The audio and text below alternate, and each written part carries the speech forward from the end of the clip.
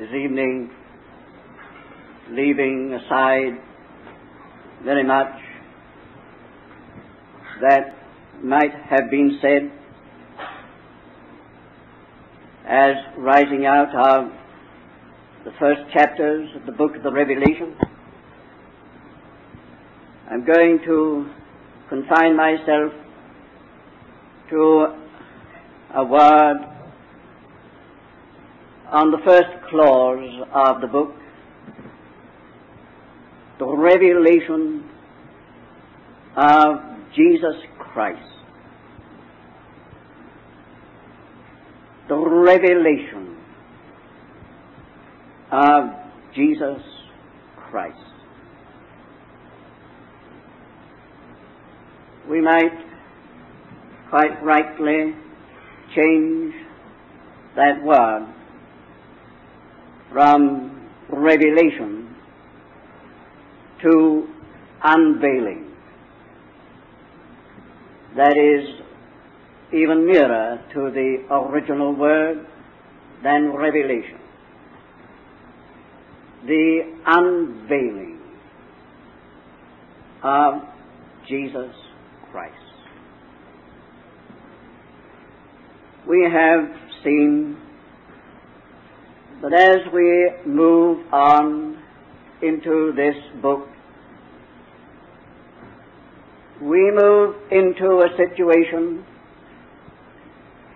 that really does need speaking to.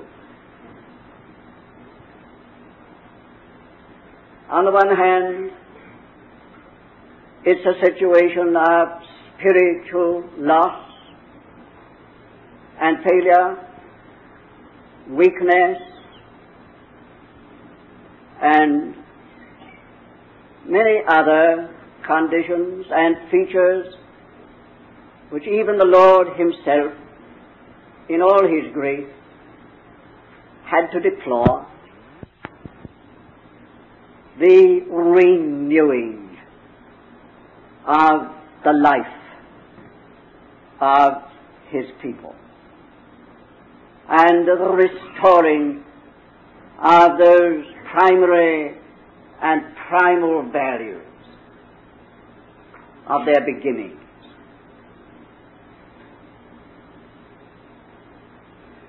Then it was a situation of great, great difficulty,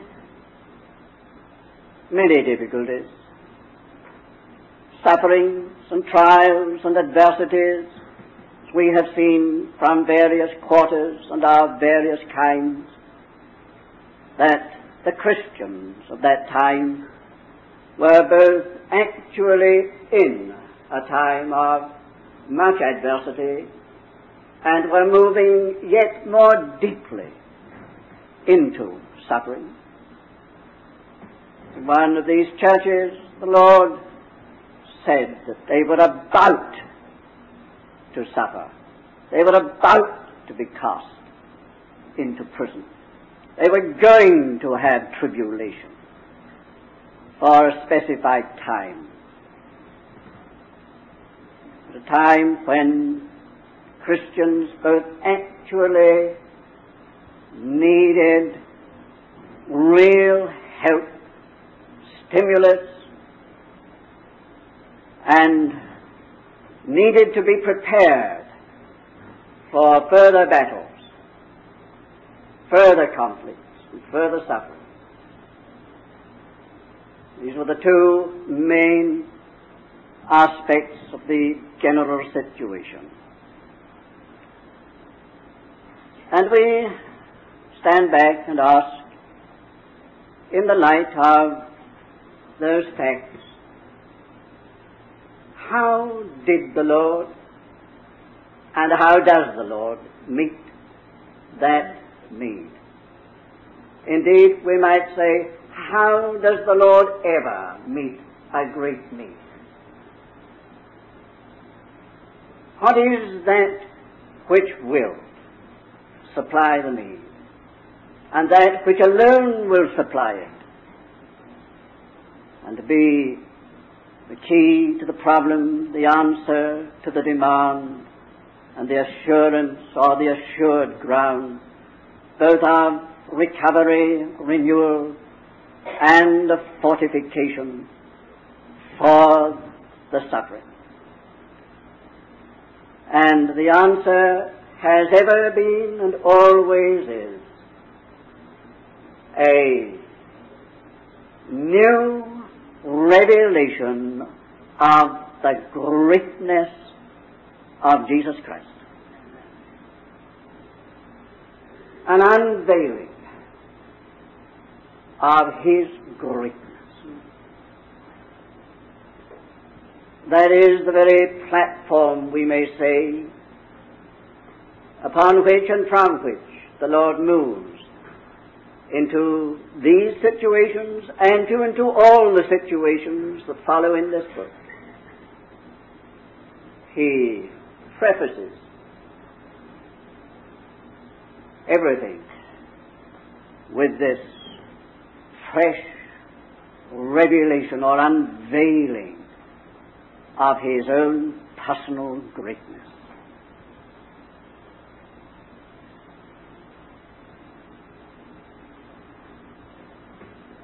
You know that has ever been the way. Abraham was called upon to make tremendous decisions and sacrifices in his native country and city, marvelous and rich civilization, a very full life indeed, and without assurance that his movement would be justified, he was called upon to move with sealed orders. Get thee out. And to a land that I will show thee, I will show thee when you get there. A tremendous move, very costly, and very testing. But, and if you have wondered how it was that Abraham went through, met all the tests, and at last survived, you have, I think, the answer in these words. The God of glory appeared unto our father Abraham when he was in Ur of the Chaldees. If ever that happens, You've got something to move on. You've got a background. You've got something that will again and again come to your rescue. Time of. Moses was called upon to undertake a tremendous responsibility. We know the whole story now. Moses was not altogether ignorant of what he had got to face in Egypt and afterward. And we may wonder sometimes how he got through and kept to the course. But we know that he met God face to face. It could be said equally that the God of glory appeared to him Reference is made several times in the Bible to that encounter with God in the bush. And we are told that he endured as seeing him who is invisible. That was the secret of his sustenance.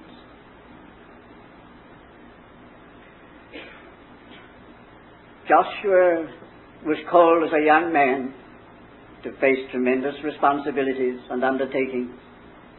In the ridding and clearing of that country of those ten kingdoms, getting that people, such a people, he knew them, in to possess, and all that was bound up with it. And no wonder the Lord had to repeat one word to Joshua continually to get him on the move. Be of good courage. Be strong and of good courage. Only be of good courage. Only be strong. How did the Lord give to Joshua the basis, he lifted up his eyes and saw the captain of the host of the Lord. From that time it was all right. He'd go on and go through. Isaiah was a young man in a very, very difficult day. One of those very, very cloudy days in Israel's history. He was taking up his great prophetic ministry in the face of great difficulties and threatening problems. How did he get through? I saw the Lord high and lifted up, he said. That's the answer.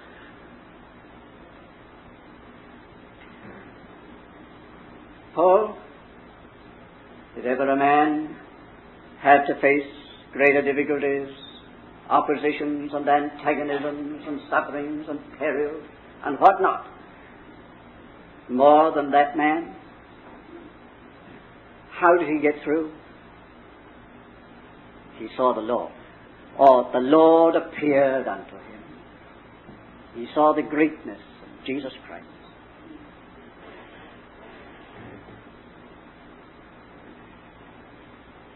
Stephen triumphed as he saw the heavens open, the Son of Man standing at the right hand of God. So we could go on. But here,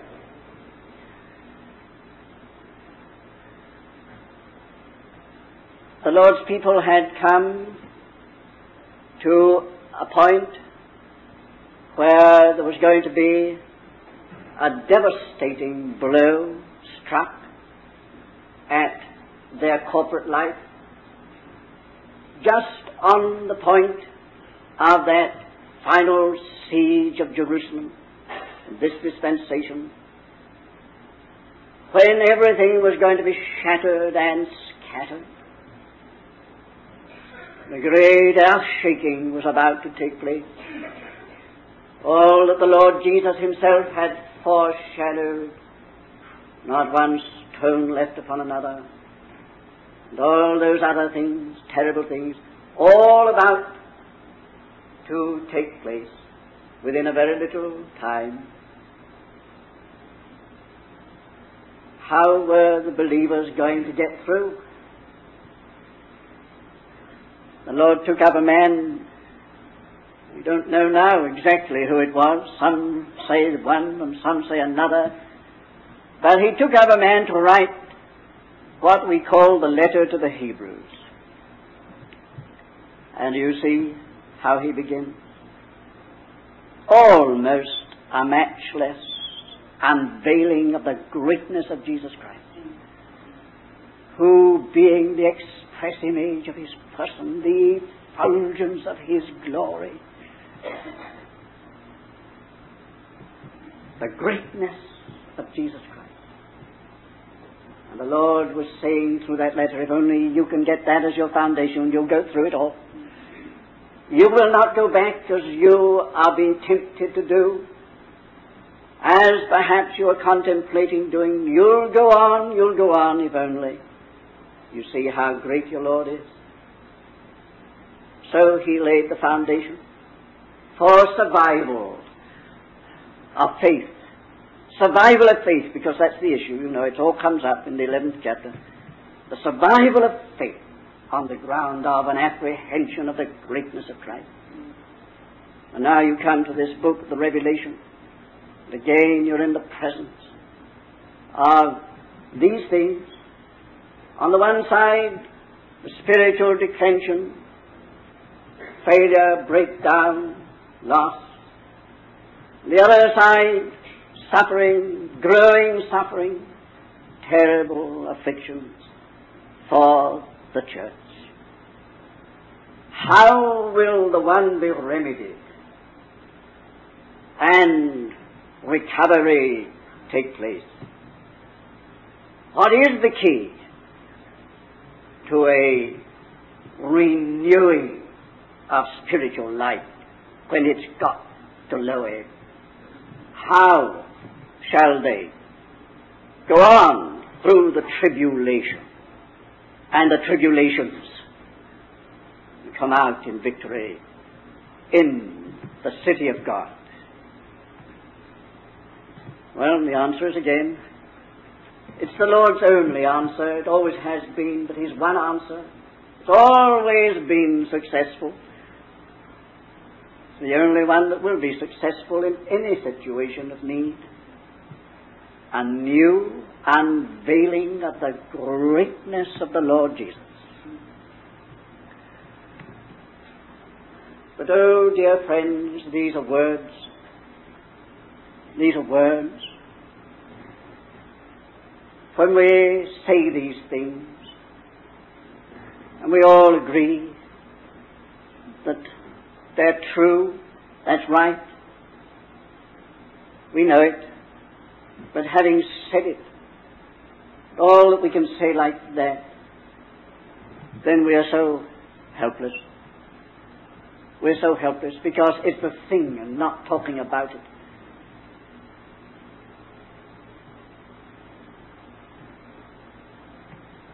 See, if, if only by the Holy Spirit, there's no other way, no other means, we could catch a new glimpse of His greatness. How many problems that would solve, and questions that would answer, and needs that would meet. If only it could be like that, how overwhelming it would be. When I say overwhelming, I mean how much would be overwhelmed? The mighty tidal wave making all these rocks upon which we threaten to flounder as nothing, they're sunk beneath it, disappear from view. Now that, that's not just language. Look, who is writing this? It's the Apostle John. Apostle John. Yes, that man who walked with Jesus of Nazareth listened to him and watched him at work, and then at the supper and at other times sat next to him and put his head upon his shoulder. The most familiar picture of a man alongside of a man, close association, very devoted, very affectionate, I never could understand why John always called himself the man whom Jesus loved.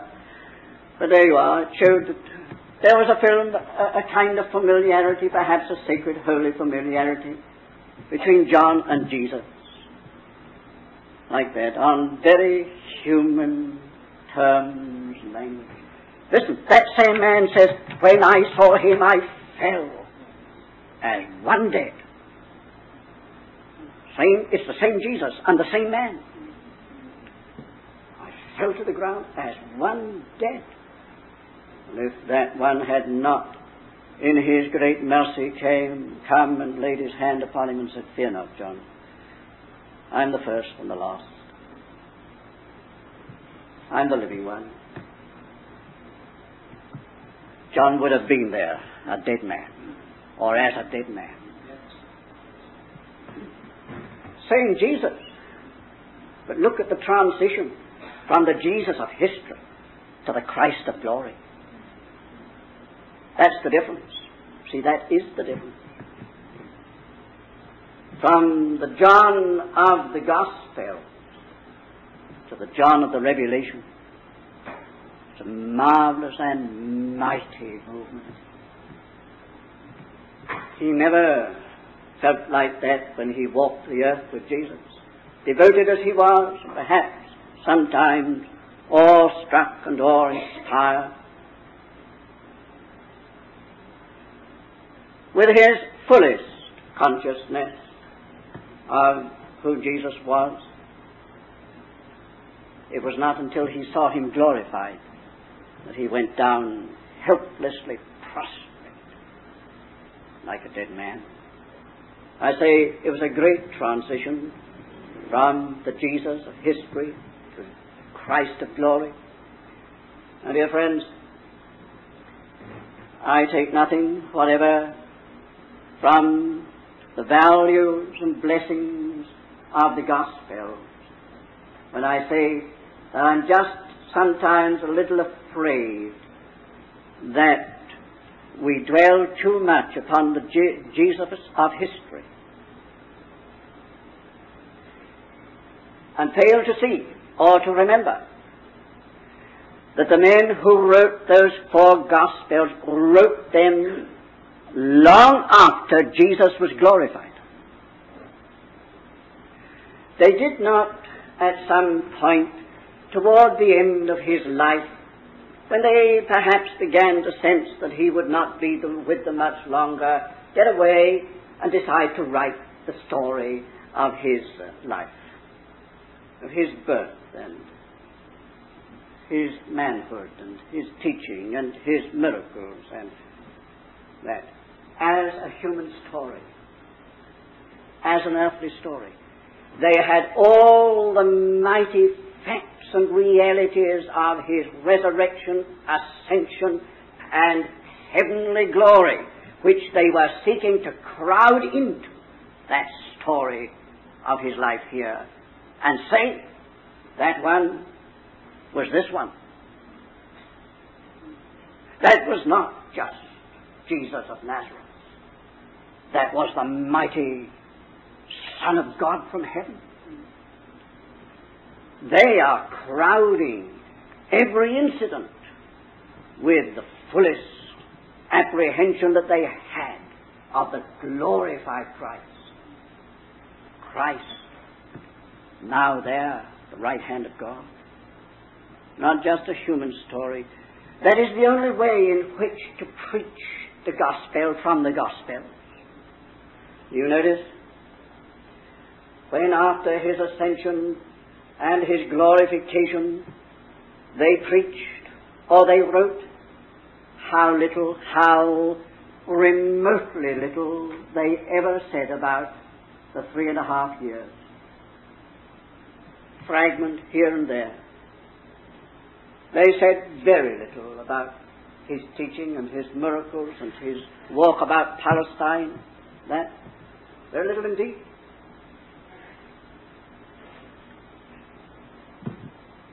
They were all occupied with this one who had been crowned with glory and honor. That was their message. That one all right, Jesus of Nazareth, if you like, who went about doing good and healing all who were oppressed of the devil. Sort of uh, passing reference to all that summary, but God raised him. God honored him. This one. It will not get us very far just to be occupied with the incidents of his earthly life, however precious they are. If we are going on and going through, we need an apprehension of that fullness of glory that is his now. The greatness of Christ. You see, dear friends, it is because, it is just because he has been robbed or stripped of his essential greatness that we have down the centuries the deplorable conditions that have obtained. Our liberal theologians have stripped him of his deity. With what result? Oh, devastating results in the impact of Christ upon this earth. They've made him a lesser Christ than he is. The philosophers have just made him one in their gallery of great and wise men. It was against that tendency, even with the Christians in Corinth, that Paul raged in his first letter, taking something from the Lord Jesus and just putting him amongst other great and wise men. The Gnostics of Colossae, what were they doing? Oh, they had a theory of angelic ranks and orders. From the highest order of angelic beings down, down, down to the lowest subordinate. And they put Jesus uh, perhaps at the top, but nothing more than an angelic being, robbing him of his essential person. Very God.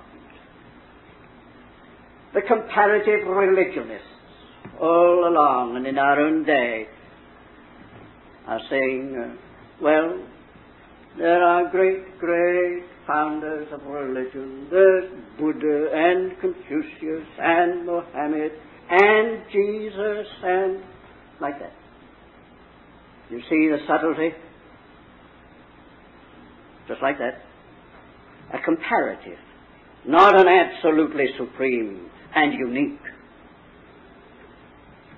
And the humanists, the humanists of our time, inflating and glorifying man and humanity to such a point that after all, humanity will be deified one day, will reach Godhead, and Jesus is only, after all, the Superman. So it goes on.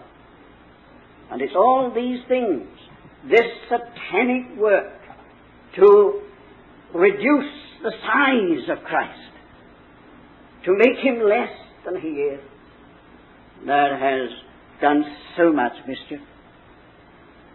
My point is this, dear friends, that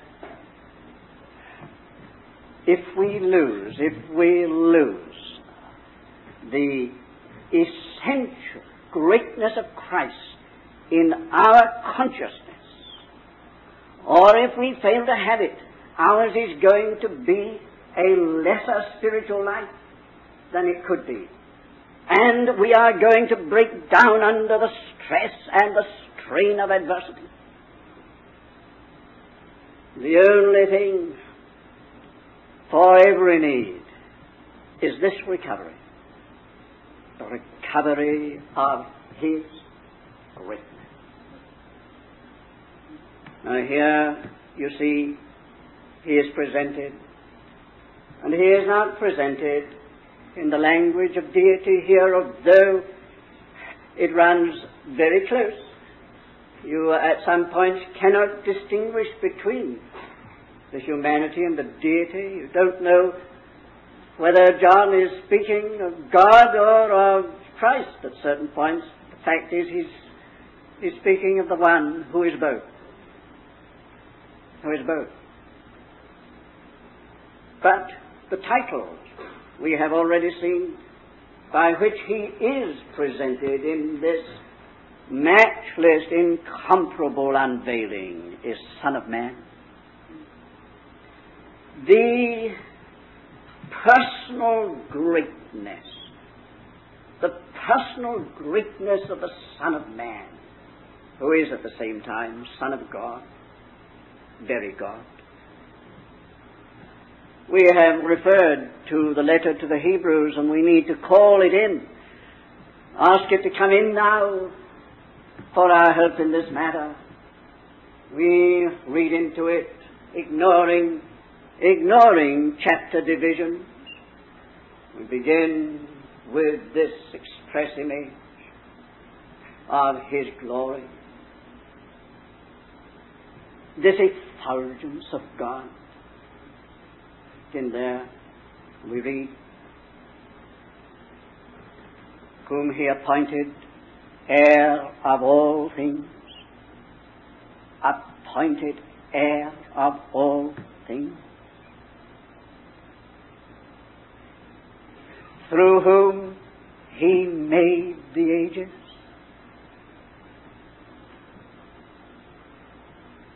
And on when in a certain place has said, What is man? That, that thou art mindful of him, or the Son of Man, that thou makest mention of him. Thou madest him to have dominion over the works of thy hands. Thou hast put all things in subjection under his feet.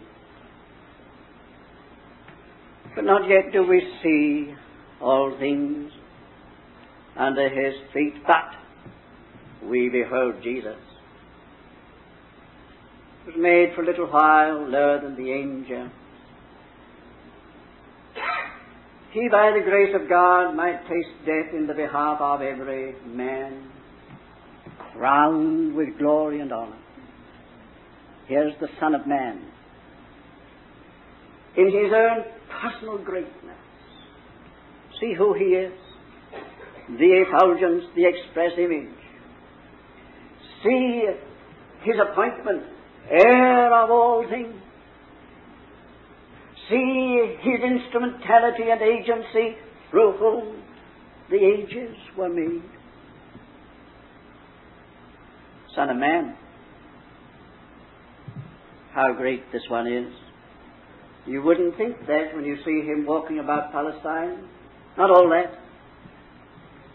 Don't recognize that that same one is now here before John with these devastating effects. That same one now revealed, unveiled as to what he is essentially in his person, who he is, what position he holds.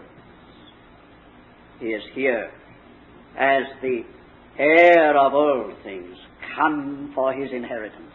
And the rest of the book sees him working it out, working it out, the securing of that inheritance of which he is the heir. And in the end, new heaven, new earth, what a glorious inheritance comes into view in the last chapters of this book. This, this is the Son of Man.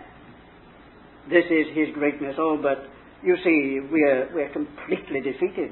Any attempt at quite a true, not an exaggerated, true unveiling of Jesus Christ. There's his personal greatness. But as Son of Man, we have in that very term his representative greatness borrow again from the letter to the Hebrews, where first he is appointed heir of all things, then he is the captain of their salvation, bringing many sons to glory. The word captain there would be better translated the pioneer of their salvation. The one who goes before to lead them into that to which he himself has entered. That's, of course, the substance of the book, the letter to the Hebrews. He has gone before. He has entered into the heavens. He's passed through the heavens. He has gone the whole way, reached the end as the pioneer of the many sons being brought to glory and those whom he calls his brethren his representative greatness as there at the end, in fullness, in glory, there he represents all those whom he's going to bring and is bringing. His representative greatness, how great it is. We sung our hymn. We sing our hymns. We read ah, of a great multitude which no man can number out of every tribe and kindred and tongue. Thousands ten thousands of thousands. Language is, is taxed to break.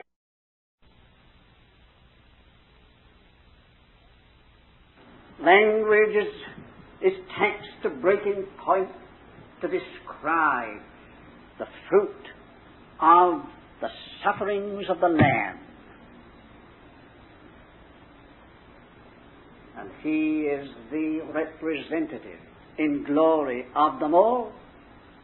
Of them all. How great is his person and his representation. And then his official greatness.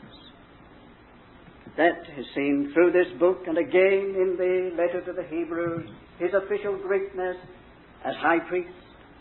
What a great high priest he is, as according to that, that book. What a tremendous thing he does. Think of it through century after century